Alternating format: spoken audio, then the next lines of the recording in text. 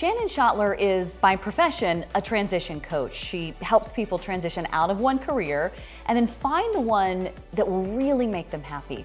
Her clients are as young as 22, they go all the way up through their 60s, and they're high achievers to boot. So, a lot of our conversation in this episode really centered around how to transition.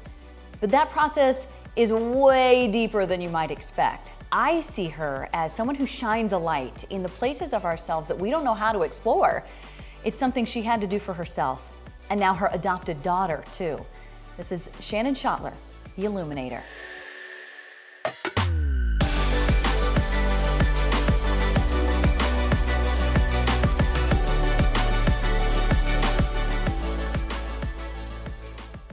So, Shannon, thanks for being with me today. Thanks for having me. So, we found each other because we have a mutual friend. And that mutual friend was so supportive and watched every single episode of season one and said, I have a friend you need to meet. I was like, okay, all right, bring this person on. And I feel like when I picked you up at the airport last night in preparation for this, I was like, oh, okay, I'm going to pick up this person. It'll be fine. But I did not expect the total girl time that we had last night, and I did not want it to end. So so actually, it's funny because usually me spending time with a guest helps me really like laser focus in on what it is that I want to talk about. Mm.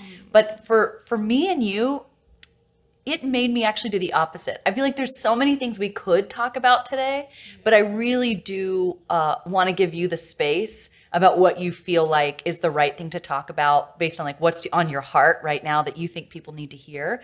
Um, so let's just start there. Let's start there because you do represent so many things as a uh, as a coach in transitions, helping people move from one space to the other, and then also those kind of dark spaces in between the transition. So what are you feeling today?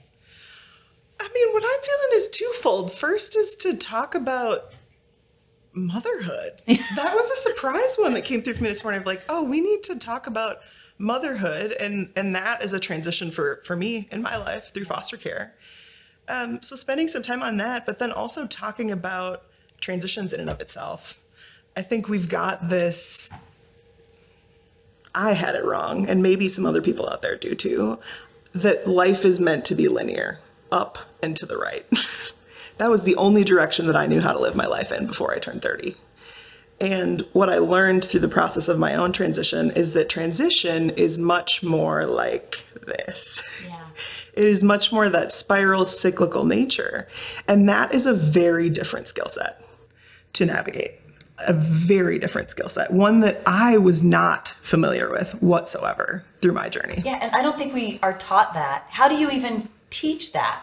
because it's easy to teach the linear it's because yeah. that's quantifiable right it's yeah. easy to mm. say we go here then we go here and then this is what you do and then this is how you measure success it's very linear yeah. but how do you quantify or or measure something that's more cyclical and how do you encourage a person a child anyone to to navigate through that yeah so one of the first things that i like to do with my clients is to offer a frame for them to to view the cycle through and it comes from the Hudson Institute of Coaching out in Santa Barbara, California. But it's essentially like we're moving through four different phases at different times. The first phase is a phase called go for it. That's the up and to the right that we're all familiar with. We don't need to spend a lot of time on that. Yeah, when yeah. I say go for it, I'm pretty sure you know what that means. It's the ambitious time season of life. Then we hit a season called the doldrums. Hmm. I call this, in my language, I call it the dis phase of life dis. You are disenchanted, disengaged. Oh, put a dis mm-hmm, put a dis in front of everything, and that's how you're feeling in that phase. And and part of the reason why I share this with clients is to help them feel a little bit less alone. Yeah. Like this is really normal to be going through. Hmm. It's not all supposed to be up and to the right. So we go through that phase, and then we move into a phase called cocooning. And as you might imagine from how that word sounds, that's a time to go. Yeah. Like this, right? Yes. But is that is it a a negative protection? Because no. I almost think of a, a cocoon as like a protection while you figure out something else. No, How do you mean it? I don't think of it negatively whatsoever. I think about it as like sacred, as a time for you to. I, when I explain it to clients, I break it into a couple parts. The first thing that we need to do when you're cocooning is rest. Mm. Because you just went through the dis phase. that freaking sucks.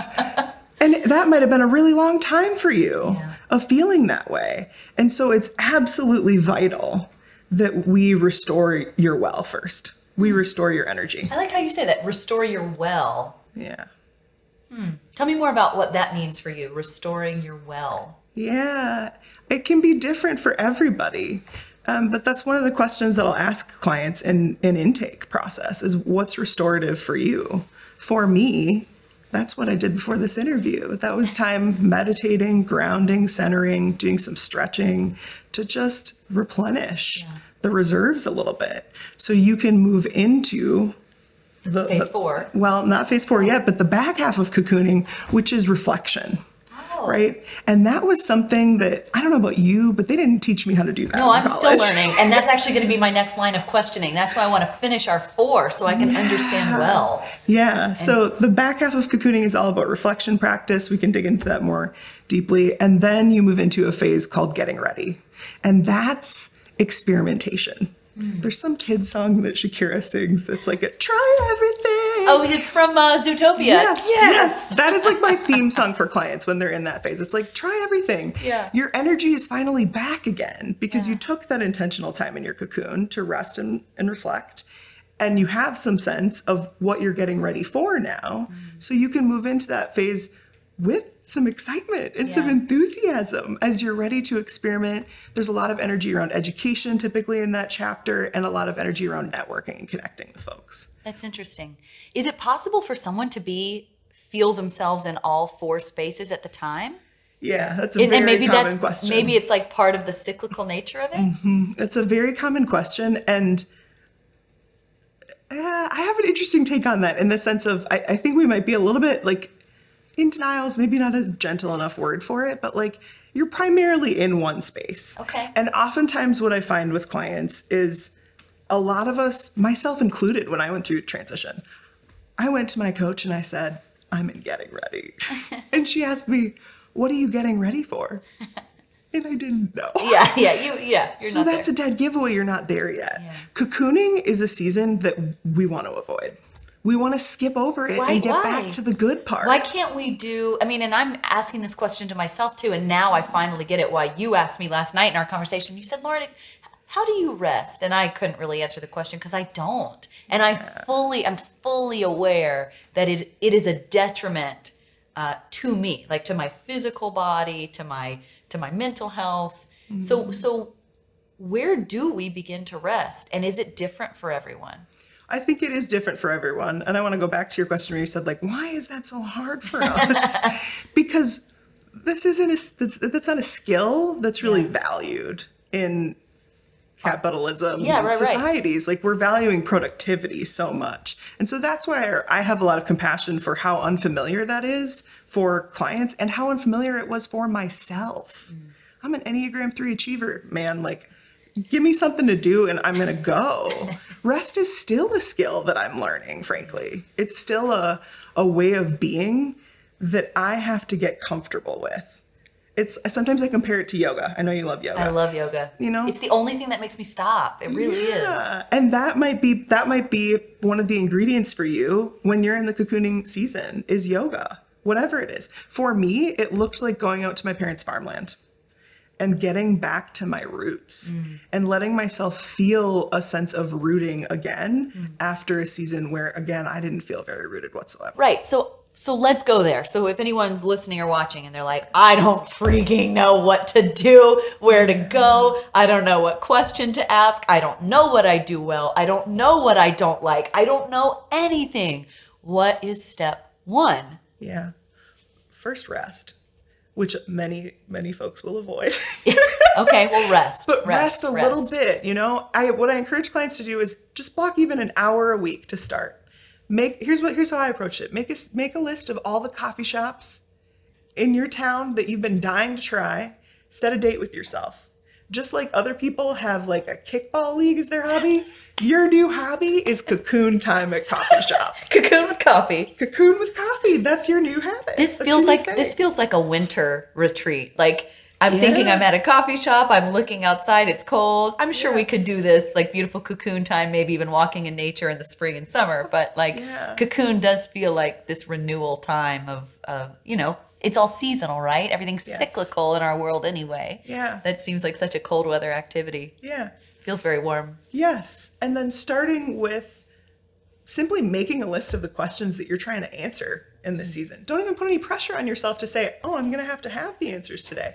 No, you just get to barf and brain dump all of the things that you're wrestling with, all of the things that you're trying to answer, and then making a commitment to yourself to keep showing up to that work, Yeah. coming back to it the next week, and beginning to play with those questions. Yeah, this is not a short game, right? Like this is a long game. It can be. I, I, I think for the very deep transitions, I would say like there's different levels of excavation. And some folks, it is more of what I would call like a mini transition. Like, oh, I just need to make a few tweaks, and now I'm happy again. Is that true? Like, and I don't mean like, oh, is that right? I'm saying, is that true? As in, is it true for a person that some people really don't need to make huge upheaval change? yes, this is true for sure. In fact, we want to do as many mini transitions as we can to make a life chapter last as long as possible, right?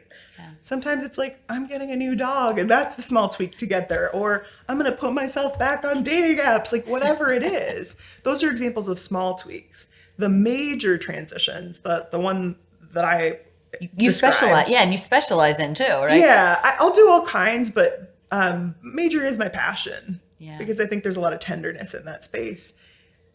Those take some time. Yeah. Those Like, take some time. how much time are we talking about? Give me a give me a range that you often see. Yeah.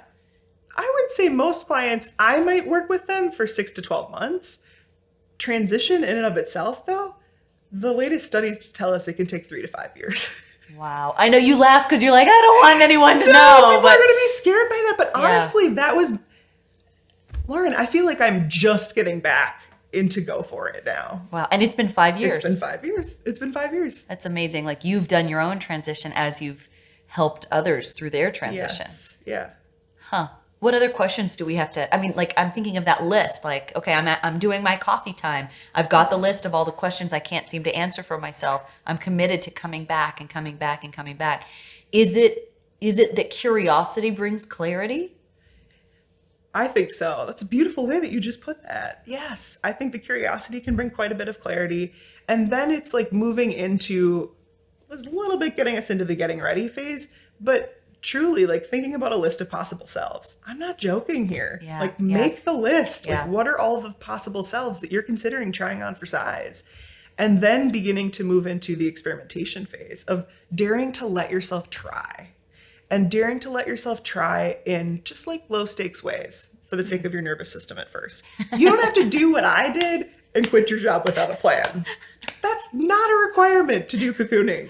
Turns out. I thought it was. Contrary to popular belief. No, you can cocoon and work at the same time. It's hard.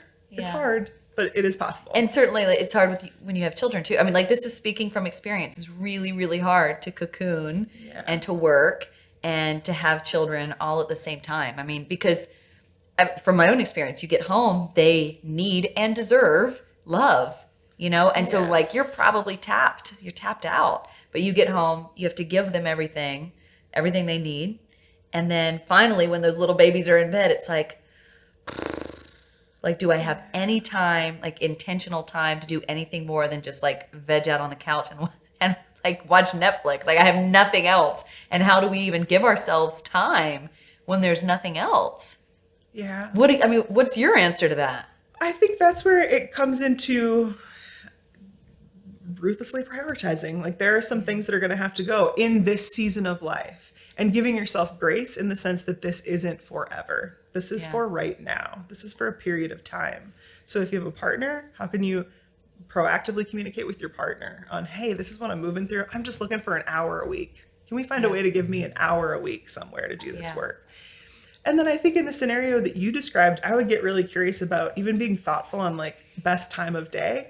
Maybe it's not at the end of your workday, at the end of the Yeah, evening. Maybe yeah. it's how do you let yourself give you some love first Yeah. in the day, if that's what's true for you. Hmm. But just daring to make some time for it at all. So transitions, I, I feel like in our society there are certain things that stick out. Like we've got the quarter life crisis, that's what people call right, like something in your twenties. We've got the midlife crisis that people think of in their forties. I feel like there's a what I have termed the Trenta life crisis. Oh, what's that? Oh, oh, it's fueled by our love of very giant coffees, and it happens in our 30s. That's, I mean, it's that's just how I describe it, um, because there's not anything else. But I, I know that that that this desire to transition comes at different times for different people.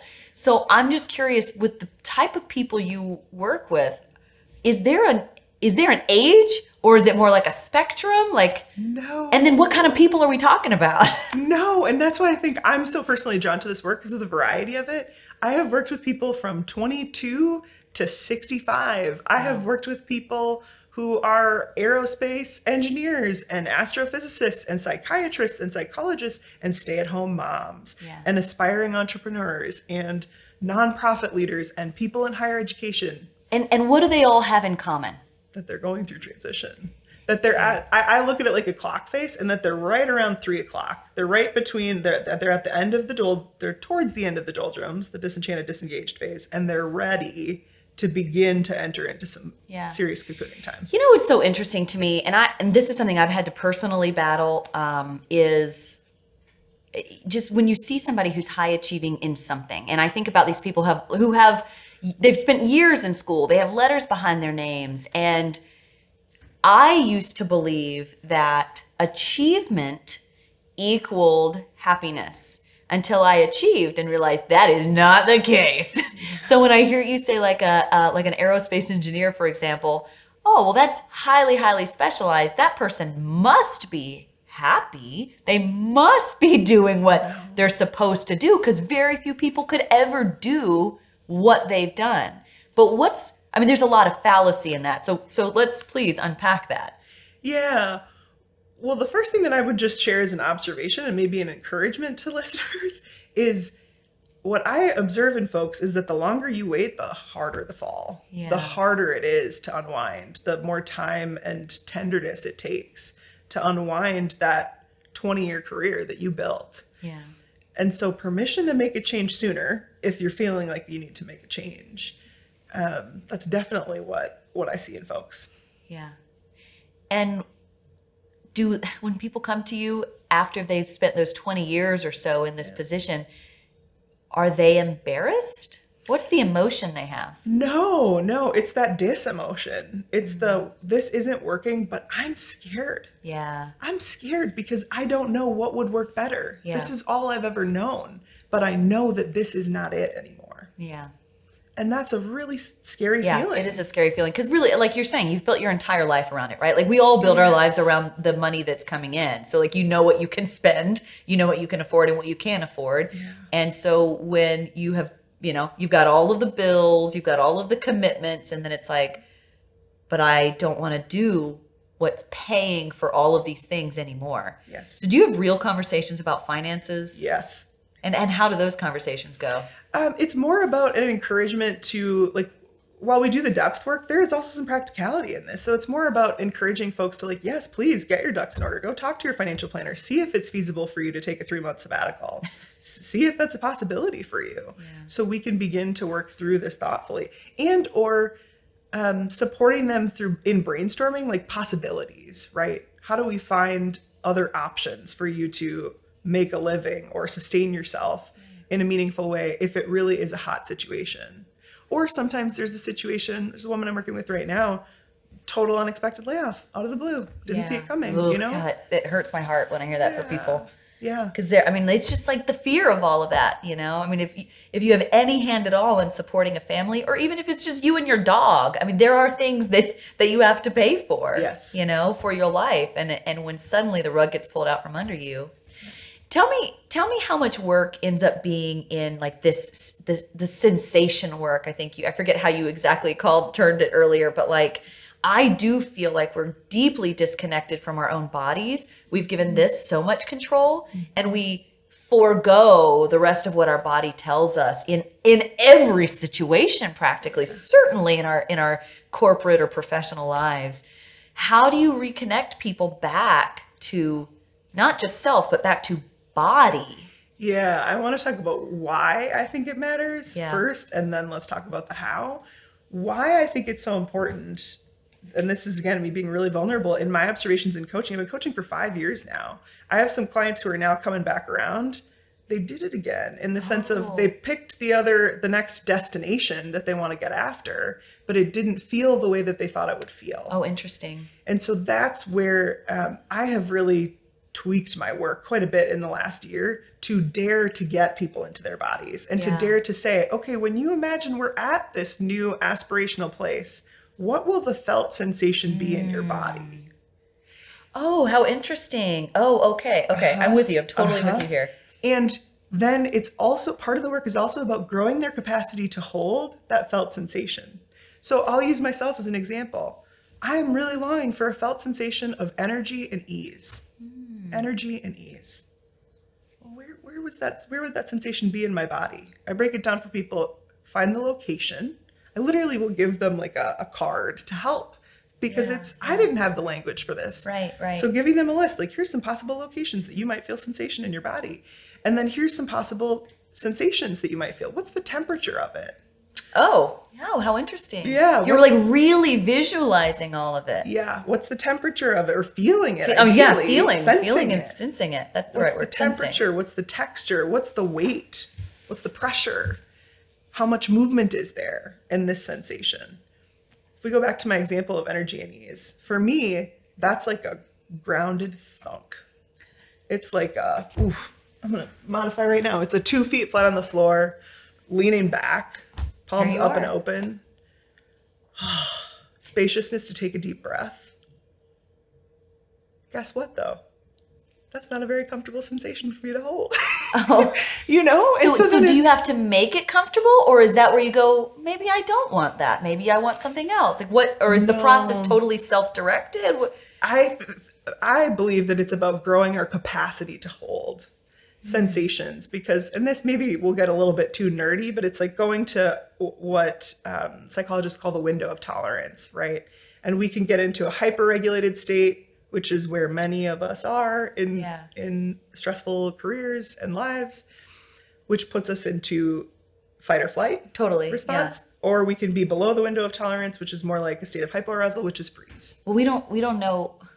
I, I just don't feel like we know how to do that. And I say we, and let me tell you who we is. Yeah. I I think there's women like us, right, Mm-hmm. who are like women who are moms, but but more specifically high achieving women. Yep. Um, and there's a lot of high achieving men that are like that too, that you just don't know how to stop. You don't know how to turn it off. Yeah. You get to a place, you get to the top of the mountain and go, oh crap, I got all of this wrong, you know? Oh, yeah. Uh, and then we have to do all of the backtracking of the, it's almost like we went the linear path up to the mountain when we, what we should have done was like the ice cream cone topping, Yeah. topping, topping, topping up to the mountain. But no one teaches us that. And, and I almost wonder to you, like also as a mother of a daughter, how do we teach our kids that that life isn't linear right like it's not that it's it's i often say it's the pinball where you go boop boop boop boop boop boop boop. Mm. But i like what you're saying more because it feels i don't know it just feels more resonant. It feels softer. It feels gentler. It feels more tender to think of it like a mm. circle or like a like you know this kind of shape Yeah. you know? Yeah. it feels more loving. Yeah, I think there's a couple ways that I'm really trying to embed this for Talia. First is thinking about it through the skills lens. Like there's just different skills you're learning when you're taking the linear or the, the linear option versus the circular option. So some of the skills that I that I had to grow and that I'm often working with clients to grow is the capacity to grieve, mm. the capacity to let go, to release, to surrender yeah those are skills. Yeah. And those are important life skills. Like we are going to be grieving many times in our lives. The capacity to rest. Mm. Can she do that? Talia sits in morning practice with me every morning. I told you that yesterday. she was she's like lays out on you yes. So how can I be an example for her of rest? And how can I be an example for her of reflection? yeah She sees me in my journal all the time, and we made a little one for her. She's still like working on her penmanship and whatnot, but for her to take some time. So I think that can be a soft approach versus trying to explain to kids, like, so, you know, sometimes life goes like this and it's this. Sometimes it's just teaching them the skills so that no matter where they are, They can are going to be able to navigate. and they can it. come back to it. They can come back to those things that they know. Almost like if you begin executing those things, then it's like okay, the, the mind will catch up if you'll just sort of start moving yourself into it. Yeah. That maybe your your awareness can shift at that point. Yeah, and going back to grief, even of my my dad has dementia, and it's progressing quite fast. I don't hide that from Talia. You know, we're in relationship on that. She sees me cry. She sees me grieving the loss of different moments with him. And we don't make that mean anything other than this is a part of life. This is a part of the cycle. Yeah. There's, I know there's sadness in that. I, I grew up in a family where my, um, there was so much positivity and encouragement, but I think because of that, I, I missed out on. Um, look, actually, let me let me say it this way: I learned some amazing skills coming from the family that I came from.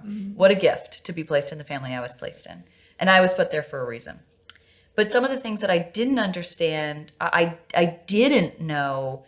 Um, I didn't learn coping mechanisms because everything was positivity, and I and I I explain it as dismissive positivity because it's like Love that, by the way. well, but I mean, and it makes sense. And and we all know, hopefully, we all know someone like this in our lives. Because the truth is, like ninety nine percent of the time, it's really, really helpful. Where when you have someone who can encourage you and say, "You can do this. Get up. You can do this. You're smart enough. You're you're good enough. You're smart enough." And gosh darn it, people like you. You know, like they used to, I forget, but um, God bless moms. Stuart Smiley, whatever his name was on, on, on SNL. Um, anyway, so but the dismissive part of the positivity is like when you say, "Oh, I, I'm just really," you know, I use this example in another episode of like, "Mom, I don't want to go to school today. Mom, I'm I'm really afraid to go to school. I don't want to go to school. I'll miss you and all these things." Um, in the way I grew up, it was, uh, "You're okay. You're okay. Just go to school. You're okay." So it's the dismissing. You're okay, and then the positivity. It's, you're gonna do great today. So dismissing, but then positive at the same time, which taught me that, that those emotions weren't, they didn't need to be there. Instead, there needed to be some acceptance of that. I, and I almost wonder if some of the work, whether it came from dismissive positivity or not, I almost wonder if some of the work that you have to do with clients is that something where they're like, um, they don't know that their emotions or their sensations have any merit. Are you teaching that at all? Yes. What you j- just brought up for me is that I would say self compassion is another one of the skill sets that we learn through the process of the cyclical model versus the linear one, right? We have to be compassionate with ourselves when things don't, when we have to let go, when things don't go the way that we hoped or we anticipated. And that I would say is probably on 90% of the coaching plans. Yeah. Wow. It's it's not a skill. Yeah. I think many of us have the experience that you described of that dismissive positivity growing up. Do you think so? I, I just, I, you know, we all assume that we're the only one, right? Like, I just assumed that's how my family was. Yeah, I do think so. I mean, I know that I probably have a penchant for coaching a lot of the high achievers, Maybe that's what it is. Yeah. and um, I think that's real. I think compassion is a very undervalued trait in our world today. If even if I look for myself, compassion, I was hesitant to lean into self compassion because I worried it would make me weak. You know, like it's going to mm-hmm. make me not push as hard or strive as hard, and that's just such complete and utter Yeah. crap. Yeah. You're, you're expressing something in a way that, like, I, I, I like to say the journey I've been on in the last year has been like a journey to unify the polarities. It's really the only mm-hmm. way that I've been able to describe it of like this this side of me that I've leaned into now for I'm 37. So probably 36 of my 37 years has been this effort to like Hulk smash all the time, like run run through a wall, like laser point, like pff, here's the arrow, I'm the arrow, and I'm you know I'm going right. So there it is. But there's this other side of me, and I think probably of everyone that's on the other side of the spectrum, which is the rest. It is the cyclical. Yes. It is the letting go and allowing. And and I do feel like it's an active choice to give that side of us more power. And then even if it's just more room, more awareness of that side. Do you see your work that way as the two helping bring that stuff together? I think my work might be evolving in, the, in that direction. So the way that I would describe what you were talking about is we all, man or woman, have masculine and feminine energies in us. And in our society, in our world, so much of the feminine traits, the opening, the receiving, the allowing, the resting, the choosing, the sovereignty has been lessened to say, eh, this isn't that important. Right, Keep doing the striving, reaching, productivity. Well, and I think about even you in college, right? Like you went to an all women's college and it's we are we are this, women can do everything, which I agree, women can do everything. Yes. But maybe some of it we've gotten wrong. I think so. I, honestly, sometimes I get so excited when I think of what could be possible in our world. Yeah. Can you just like, can we both sit with this for a minute and think, wow, how awesome would it be if there was even 5% more compassion in our world? If there was 5% more rest in our world? If there was 5% more reflectivity in our world? Yeah. Yeah. Yeah, I think it would change a lot. So, so okay. So let's get back to our polarities here. Um, these feminine traits, typically feminine traits of the allowing and the opening. I will be honest and tell you, I had no awareness of those. I thought they meant weakness. Same. And and and it's only been in my own personal journey in the last year of trying to like al- allow those things. So like Yeah. allowing the allowing, you know Yes. and al- allowing those things to come forward. Do you have to work with men and women on both of those things, or do you feel like there's a certain type of person that that has a harder time with that? Uh, no, men and women. We, we all need to grow in that. Because again, like, I don't think about it as gendered in that sense. Yeah. I think it's a useful way to like bucket the traits, but we could call it anything, you know, red and blue, I don't know, pink and purple, whatever you want to call it. But just giving a sense of like what what might the poles be that we're working with here. And then finding that softness. Yeah. Again, like I get so excited. I, I will joke about current events and how different it would be if more folks had regulated nervous systems. if more folks spent a little bit of time in that in that restful state to help themselves get back in the window of tolerance a little bit. Hmm. It would be a dramatically different world. And I get so excited every time I have another client wake up to that Oh, because that will be the change. yeah. Yeah, I do feel like we we as we begin to choose that, as each of us individually begin to choose those kinds of ideals or that kind of life for ourselves. I mean, think of all the people we impact just by living the life we're supposed to live, which is why I kind of my passionate pursuit right now is to help people go deep within to find what it is they're supposed to do because because your your each of us our purpose is in in my mind a twofold purpose is the one thing but then there's this twofold thing it's you're supposed to be doing your purpose for what you're supposed to do but then also all of the people that are needing to hear your story your message your teachings they need to see the example of someone living the life they're you know supposed to live something that makes them happy something that lights them up you know, these are all beautiful, positive things, not things that make them disengaged, disenfranchised, right? Like we we need to show that to more people. So by one person living with purpose, they affect their circle. By another person living with purpose, they affect their circle.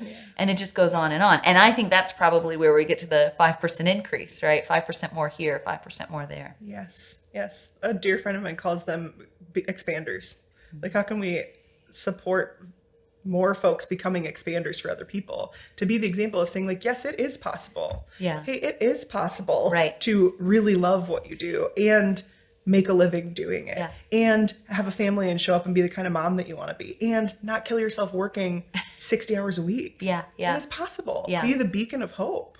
You, what you just said actually is uh, a way I described before I launched this podcast. as the way I would describe it to people. I'm like, do you know what expanders are? Oh, yes or no or whatever. You know, I explain what an expander is, and then I'd say, I'm making a podcast of expanders. I want to show people that it's possible to live the life that they're supposed to live, and on top of that. I want to show that it's not all butterflies and unicorns. Like we need to show the pain through all of it because a lot of times pain becomes the linchpin that then allows purpose to grow out. Yeah, and know? uh, that I, I'm starting a new interview series soon with some former clients who have volunteered to be a part of it, called the Messy Mucky Middle, because there's too many people out there that want to just skip to the good part and like not tell the truth of just how windy and messy that road can be. And I'm really committed to like finding people who will tell the truth of Yeah. like it wasn't all sunshine and roses. Yeah. There was a time when I thought about going back to a corporate job in all of this. It's so funny to like see you now as this evolved human and to think that you'd go back. I can't imagine it now, but there was a time, right? Where it was messy, it was mucky in the middle. I wasn't sure, was I going to make it as a coach? Yeah. But that a little bit goes to my passion around what I offer to clients a lot is destination versus devotion. Yeah. I remember sitting at the stoplight when I was at the peak of my frustration and agitation with foster care and at the peak of my frustration and like concern of am I ever going to quote make it as a coach. And I felt like my guides whatever universe just popped in and say said if you would be in the same place 4 years from now would you do anything different right now? If you were still in this m- messy, mucky middle with Talia's case and you were still coaching like a few clients and no more, would you change anything? And the answer was no. and that's how I knew, Yeah, yeah. oh, I am on the right path because Yeah. this is my devotional calling now. Right. It doesn't it doesn't matter if I never get to the destination. Mm. This is the work that I would want to wake up and say yes to every day. Yeah, let's talk about devotion over destination. What what does that mean to you? I mean, obviously I get destination. You know, when we're always set out in the like how you say straight up and to the right, like here's my linear path. I've got this destination I'm going to. Yeah. But where does help me understand how devotion is the opposite to destination? I think they can play together. So sometimes I think about destination as like a point Z. This is the place that we're trying to get to. But it's thinking about, well, what are the ways of being that I really need to be in devotion to to to ever even have a hope or chance of getting to that destination? And what are the ways of being that I love embodying so much that it would never even really matter if I never got there? Hmm. You know? I love being curious. I love asking questions, Yeah, as I you know, maybe do too. And that's beautiful then i found a sense of like what what the devotional path is for me. The other way that i'll describe it to clients is in a way that i think you probably already know is destination is very external focused. Devotion Yeah. is more on the inside. Devotion yeah, is an inside job. And then the last thing that i'll offer to folks is where are we putting an ed when it could be an ing Hmm. So where are you saying, oh, I want to get to this place where I've created X amount of revenue in my business, Hmm. and how can we just be in the energy of creating? Yeah, that's like an arrived thing, and it's almost like, and I and I realize goals are super important and things are super, but but Are I though? But I, well, listen, listen. That I would say now being on the other side of that, where I've lived my entire adult life, you know, focusing on destination, focusing on the E- ED, focusing on Yeah. what the achievements have been. I would say, well, it's not all it's cracked up to be. But I also had to have all of that experience to finally evolve past it. Yes. Right? Yes. There's right there with you, sister. There is no way I would have ever gotten to this devotional place. And frankly, even still, it's a choice every day for me to keep being in tune with the devotional path and not just the destinational path. Yeah. And I also don't want to shame folks who are maybe still feeling a call to the destinational path. I think that's part of our evolution, right? But then eventually, like you reach enough milestones or you go through that cycle enough times where you're like, ah, this really isn't all that it's cracked up to be. I need to find a different Yeah, way. yeah. And and the truth is your self, you, self, are the only one who can make that decision. Yes. You know? It's on you. That I think that was one of the the points of clarity for me in my in my adult life is like realizing it's on me. You know, all those choices, all the times I gave up my power or gave up my identity to take on the identity of something else, that's on me. Yeah. That's no one else's fault but mine. But I also had to have that journey, right? To get to this place where I can finally say, "Oh wow, that was not right for me." So let me let me create what is right for me. Yeah. It's on me to do that. It's on no one else. No one else can tell me the answers because it's not their journey. You know, it's Yes. mine. And that is the critical choice that shifts someone from the doldrums into the next phase, into cocooning, because it's letting go of victim mentality and it's stepping into self responsibility, stepping into a radical level of self responsibility for your life and your choices to hmm. say, oh, I'm not happy. And instead of, I used to do this with my team at Target all the time. Where are you pointing the finger out there? And now let's turn it right back around on you. Yeah. How are you contributing to the situation you're in right now? And what is the first step that you can take to support yourself in getting out? Mm. That's more of the tough lovey coach version. Yeah. I do want to talk about how you found this work of your own transition, but then also helping others transition. Because as that Enneagram 3, as you talked about, you you were the go, go, go, go, go achiever all through your 20s, and you did really, really well. And then till suddenly, like, between like an act of God and then you yourself at the same time going, wow, like things are imploding. I have to stop. So tell me, tell me your story, your 20s up to 30 years old. Yeah, yeah. So I went to an all women's university and it was ingrained in me.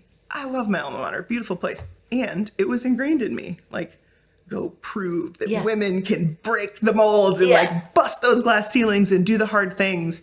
So I spent time in, uh, I picked like the most male dominated industry you can imagine. I worked in industrial sales, steel toed boots and a hard hat, calling on Department of Defense contractors. Because I was like, yeah, we're going to show that women can do hard things.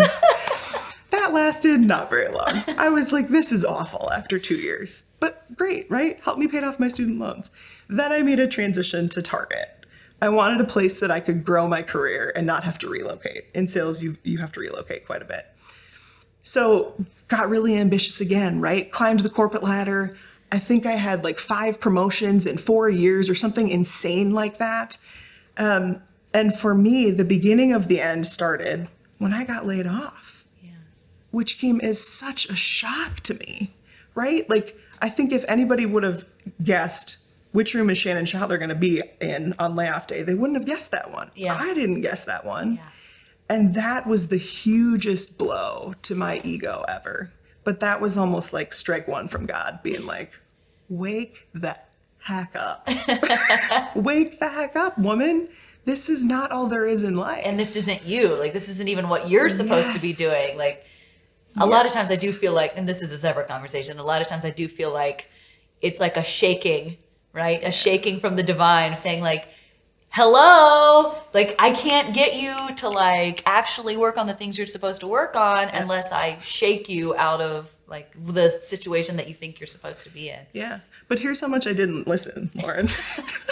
okay I, I got a new job right away, right? Went to work for Unilever, another like great, sexy, big international company this time, doing sexy things. And um, within like I, maybe three months, my old boss at Target said, Hey, can you come back? We want you, and like ego play totally. We want you to manage a team twice as big as the last one, $1 billion P&L, like get on in the game. And I went back. Yeah. I went back to the place that laid me off. glutton for punishment Yes. And it was like, God just being like, woman, like, when are you going to get this job? Gets better. I work on this big, sexy project because I have a huge chip on my shoulder Yeah. at this point, right? To show I have everybody. something to prove. Right. I have something to prove. Like, you made a mistake when you let me go. And so, work on this big, sexy project to the point where I'm presenting in the boardroom to the CEO of Target Corporation, Fortune 50 company. Are they in the 50? I don't know, somewhere Who knows? in there. They're- they're big. They're big. Presenting to the CEO of Target Corporation with a team of folks that have worked on this project and his entire leadership team, celebrating a massive accomplishment. I felt numb inside. how Um, this was a moment that should have been like so celebrated for me, right? Like this was the pinnacle of your of a career yeah, in of your some corporate ways. career and you were only 30 right And I was 29 at the time. And it just did nothing for me. Still though, didn't get it. Lost 5 people in 5 months. like death you're saying Death. Yep. 4 of them under 40. 3 of them under 30. wow And with every single death, it was like the first guy was 29 year old that I worked with at Target Corporation. Picture of health, dropped dead on a run. Major wake up call thinking that could have been me. Hmm. Next death, my sister's father in law passes away, 60 years old, of a freak lawn mowing accident, oh of all things. That could have been my dad. When's the last time I talked to my dad? Mm. Move forward. My best one of my closest friends brothers pass away in a single car accident 24 years old. That could have been my brother. When's the last time i talked to my brother? A girlfriend that i went to high school with died at 30 years old of brain cancer.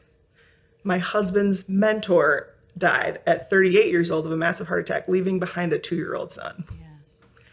And it was just with with every death it was like oh crap. Yeah. I get the joke now. Yeah I like you're, you're not doing it you're not doing the life you're supposed to do. No. But I didn't but here's the thing too that's that's tough about transition sometimes. Sometimes you know that there's an end before you know what the new beginning is. Hmm. And that's where I was. and that's really scary. That's so so so scary because then and i think probably that space is what causes people not to act. That causes inaction. Um, maybe it causes the gripping too of like wait wait wait wait wait. I know this is ending but uh, i don't have control over this situation so we just hold on to it. When maybe the maybe the right thing to do is just to let go of it. Yeah. Yeah. so what did you do Well, I would say it took all of those five months to work up the courage. I put in a two month notice at Target because I was so scared. And my boss was like, Are you sure? Are you sure? Her boss sat down with me. Are you sure? Are you sure? Do you want to take a sabbatical? Do you want to take a leave of absence?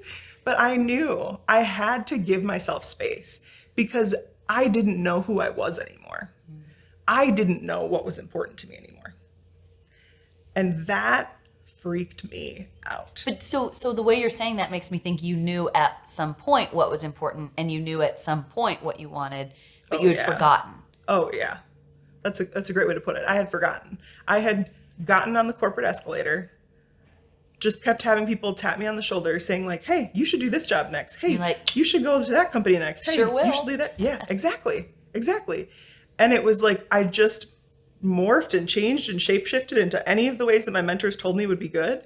And I'm not no fault of theirs, if anything, fault of mine that I didn't have. I, I lost a sense of integrity along the way. Of like, gosh, what does integrity to me look like in all of this? Mm-hmm.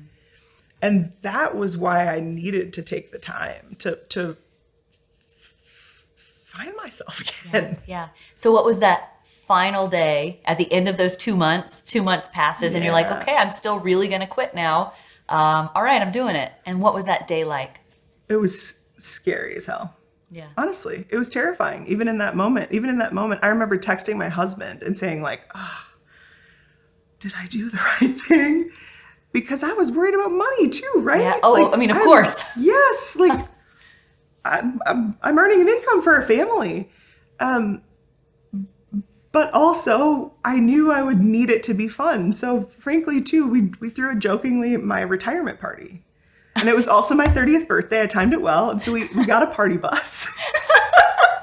and we went to a bunch of bars in Minneapolis and we sang karaoke and, and had a great time. Yeah. Okay. What I'm picking celebrate. up, what I'm picking up from you right now is like when things are going wrong and you don't have the answers. Maybe the thing to do is just celebrate where you are at this moment with your friends. Yes. Maybe? that can be a beautiful thing. And I didn't know this at the time, but sometimes we need to have almost like ceremonies in a way to like mark the ending, to say, oh, this is over. And I'm so glad I had that time to Hmm. Mark that, oh, this is over. This is an ending. Can can we under like I need to a better understanding of how you knew it was the end. Like it wasn't just a choice. Like this was something that went a long time, but not so much in thoughts. I need to know more in sensation. How did it feel to you knowing that this was not what you were supposed to be doing? How did you know? Right here and a gripping and a tightening. A Like an anxiety or like a not an anxiety like a um when i i work with clients a lot in terms of embodied sensation and i encourage folks to look for like where is the constriction Where where, are you you starting to just like really close down if you're constricting in any part of your body that's your body trying to tell you something Is it and and this is a bigger broader question about like a lot of people, so about clients and things like that. Do we all as humans do we all feel it here? Do people No. ever talk about feeling it here? Where do other people feel it? they might feel it in their heart space they might feel it in their stomach they might feel it in their womb space they might feel it i had a client Oh, and shoulders. tell her me and it was in her shoulders sometimes it's in our legs because we lose our when people say you know like you lose your sense of ground or like the rug was pulled out from under you that's a surefire sign that you're off center hmm. um, So you felt it, but you didn't just feel like you felt it, the constriction, the tightening. I, I'm. I, it's interesting that you say that. yeah quite honestly i don't know if i did at the time but that's i don't know if i had the presence of mind right Yeah. I think i was so disembodied at that point in time Yeah. that i didn't maybe feel it in the moment but that's what But comes up for me thinking about it again Somehow, like the intuition was like, "This is all wrong. This is all wrong. Don't know Yeah. what's next, but this is wrong." And and also, I want to point out too. It seems like you did not have the answers. You had no oh, answers. Oh. The only thing you knew is it had to end. god yes i had no answers whatsoever Yeah. None Yeah, yeah. It just had to end. So then then there was a point where you decided, all right, I'm gonna become a coach. And it wasn't long after that. I, I how did you even do that? it wasn't long after but like lauren it wasn't like a i'm gonna coach now hindsight's 2020 now i can recognize that i did things a little bit out of order so i skipped cocooning and i went straight into experimenting and so i volunteered i had a lot of possible selves that i was testing into Yeah, yeah, so i tested into doing some strategy work in the nonprofit space because i thought maybe i'm supposed to go into nonprofit leadership I picked up some coaching clients right away because I thought, well, this is the part of me that I loved the most at Target. Mm. That's a part that I want to keep. And that's something that I encourage folks to reflect on in that cocooning Yeah. space that I didn't really do right away. Like, what do we want to hang on to? yeah, yeah. There what did, be some. what did you really like from that time? Yeah. Or continue to like? Yes. Yeah. So testing with those possible selves, going out to the farm. There was a part of me that I was like, do I want to have a CSA farm? do community supported agriculture, Yeah. and Yeah. I, I grew up on a farm, so that was a part of my roots. Um, and then also foster care. That's when foster care entered the picture as an experiment because I guess that was a part of my knowing too in corporate America because I was looking up in the leadership roles and I wasn't seeing a person. hmm, this sounds maybe more judgmental than I want it to be, but I wasn't seeing a person that was showing up as the kind of parent that I imagined that I wanted to show up as someday. There was a lot of nannies in the higher levels. There was a lot of stay at home partners in the higher levels. And I knew that wasn't going to be my reality. Yeah, you That, wanted to that be wasn't what I wanted for my relationship with my children. Yeah. Let's talk about your foster journey. Yeah. What a beautiful thing. I, I do think it takes, I say this a lot actually, I think it takes uh, a special, special person who adopts, uh, who fosters. I think that's, you have to have a heart of service to do that. It's a different kind of, it's a different kind of love. It's a different kind of thing. So let's talk about your foster journey because that was no joke. it was a it was a long process, right? And It and it almost sounds like the universe was like, "Are you sure this is what you really want? Are you sure? Are you sure? Are you sure?" Yeah. And I feel like the universe was giving me that experience to strengthen my ability to hold the mess, to hold the in between times, because I had to sit in the unknown of foster care for four years. It's a long time. And when you sit in that for four years, you get much better at holding other people who are moving through their uh, own uncertainty and unknown times. But yes, um, so we, we started the process to get licensed and whatnot. And my husband and I just said, we're just going to take it one class at a time and see if we're a yes for the next class. And we, we got to the end. The day before we got Talia, we thought we were going to get a 16 year old. We had a zero to 18 license. We were very like open Yeah, hearted. yeah. Whoever comes is who needs to be with us. Yeah, yeah. I forgot this story. Uh, I was crying because I was crying on the floor in a meditation because we didn't get the 16 year old. And I had already had a vision worked up in my head.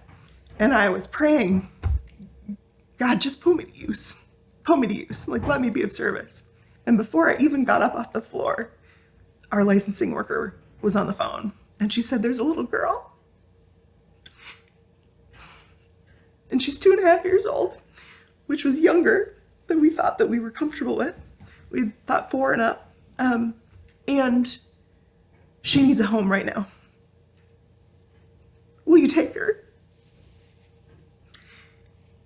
I didn't even call my husband. Yes, I didn't even call my husband. We're doing I just it. said yes. I just said yes.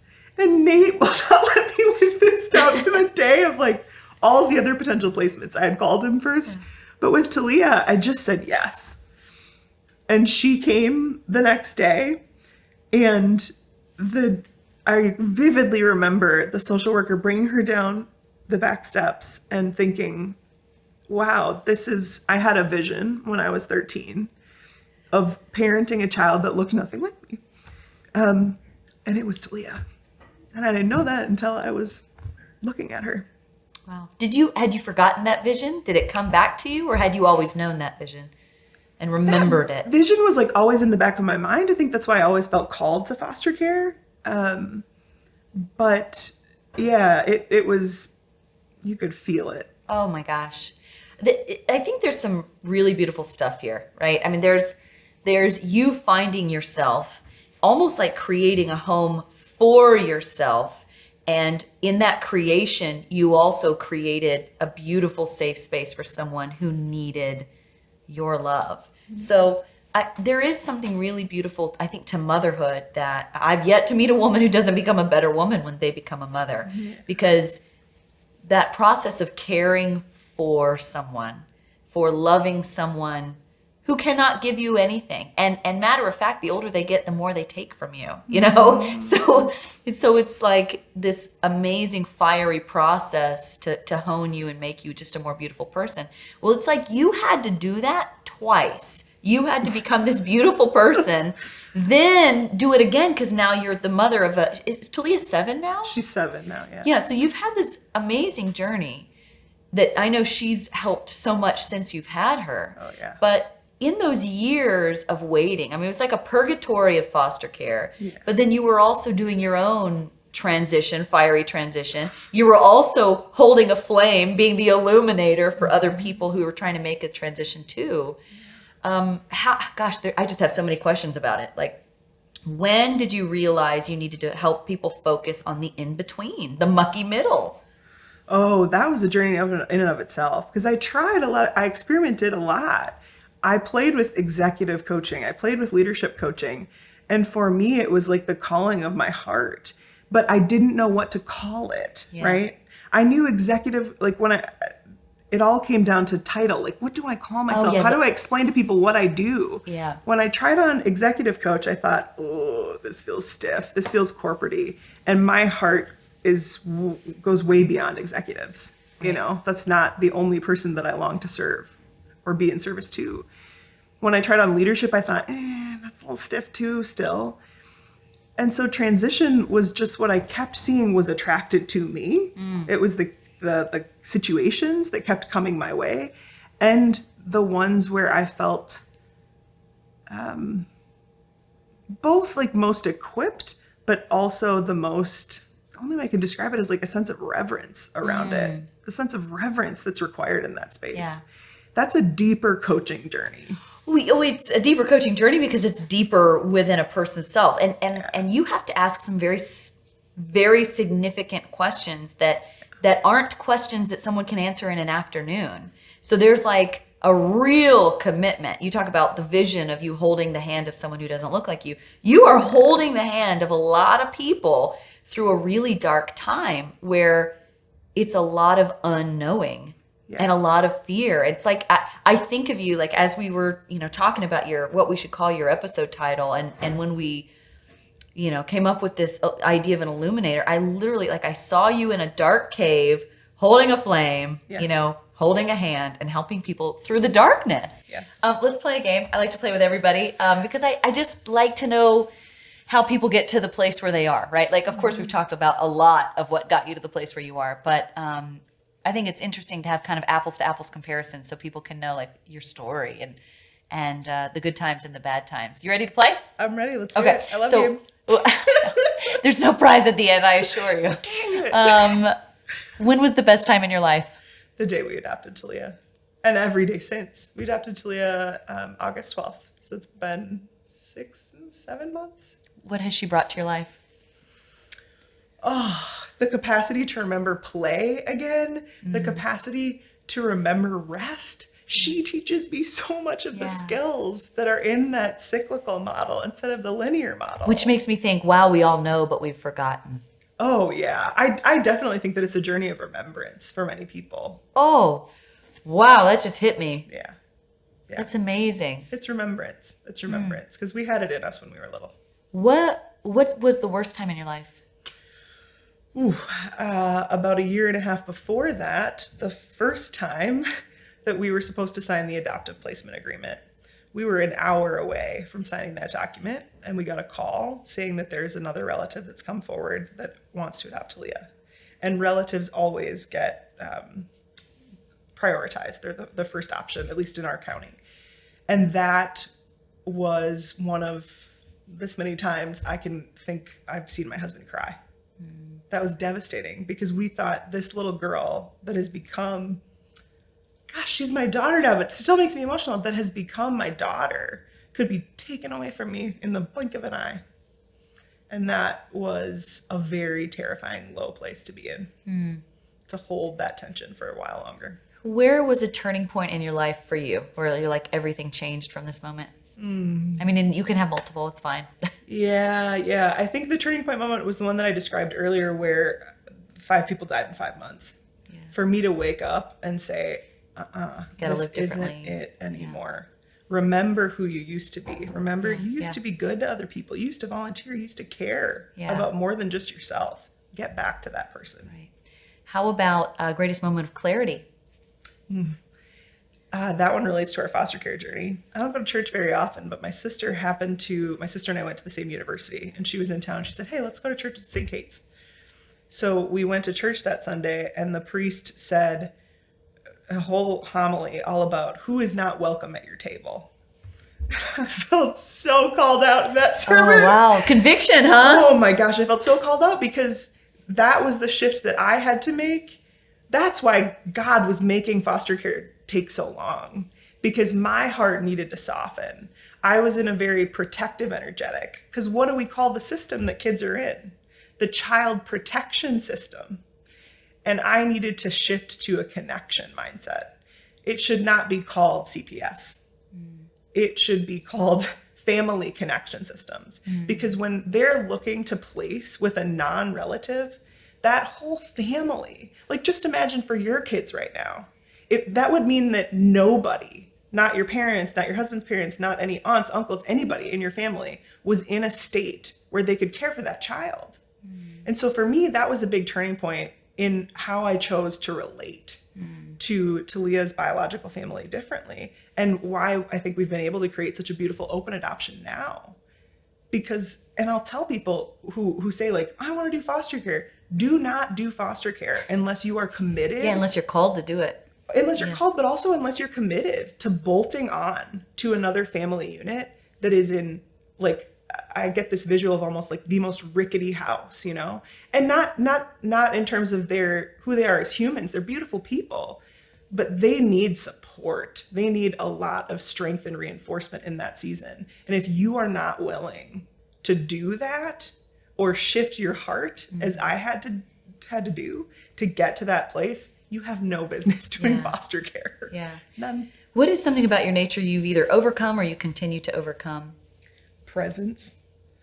Um, there's this beautiful quote in the coaching industry called said uh, that goes, "Your presence is the intervention."